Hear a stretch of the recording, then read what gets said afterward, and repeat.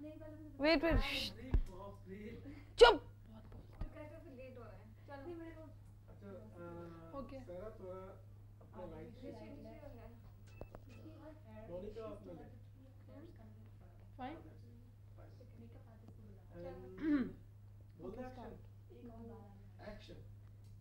धन्यवाद।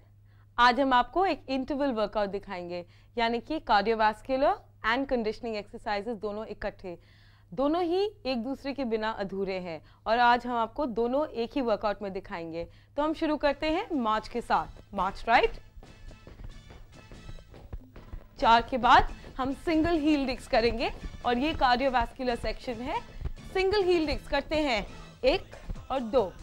तीन, चार, पाँच छ अब दो एक तरफ़, दो एक तरफ़। एक और दो।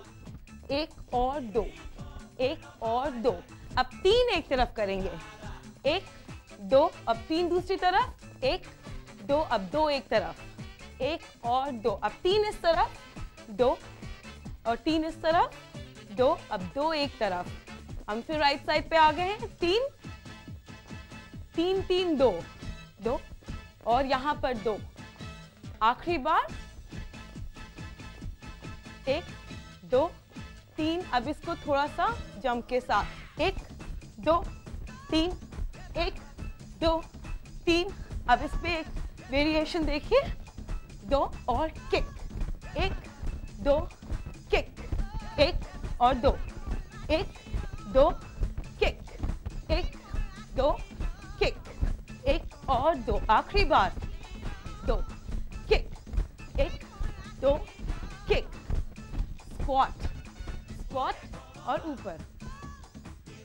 और ये कंडीशनिंग सेक्शन है, अब एक स्क्वाट राइट एक लेफ़्ट राइट और लेफ़्ट राइट लेफ़्ट चार और तीन और दो.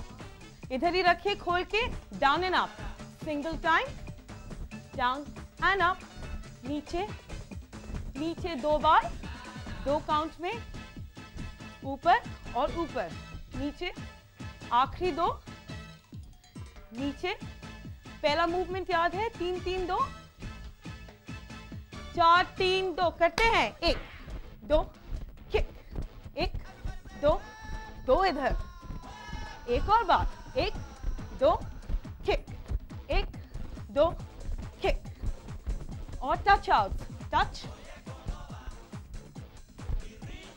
पाँच और तीन। Squat narrow down and up down and up नीचे और ऊपर। आप यही करते रहिए। अब हम आउटर थाइस में एक वर्कआउट करेंगे। चार और तीन, दो करते हैं। डाउन लिफ्ट डाउन दूसरी तरफ़। डाउन ऊपर। ये आउटर थाई वर्कआउट है और ये कंडीशनिंग वर्कआउट है। शरीर का भार साइड की तरफ़। चार और, तीन और, दो और ग्रेप पॉइंट करेंगे राइट साइड पे। ताली। चार और चार और तीन। आधा ग्रेप पॉइंट, तीन हैम कर्ल्स के साथ। एक, दो, तीन, एक, वापस। थोड़ा सा ऊपर करके इस बारी उछाल के वापस। पहला मूवमेंट तीन तीन, दो, एक। दो किक एक, दो दो इधर। एक, दो किक एक, दो। ग्रेप वाइन एक, दो, तीन। वापस। दो और। आखिरी बार। स्क्वाट पे ले आएँगे नैरो डाउन एंड अप नीचे और ऊपर। सांस बराबर लेते रहिए। ये कंडीशनिंग पार्ट आ गया फिर से।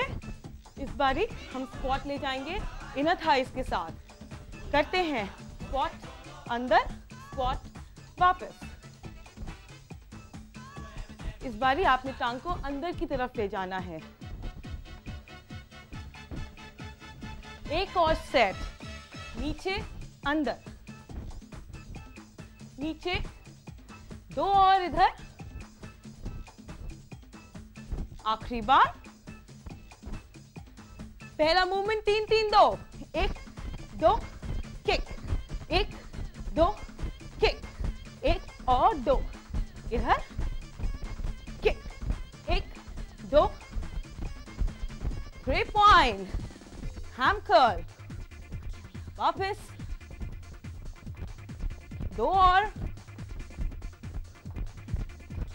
आखिरी बार narrow squat down and up ये एक और बार कंडीशनिंग पे आ गए हैं। तो आपने देखा कि हमने एक मिनट कार्डियोवास्कुलर किया, एक मिनट कंडीशनिंग किया। इससे आपको दोनों तरह से वर्कआउट मिला है। तो आज के लिए इतना ही। धन्यवाद।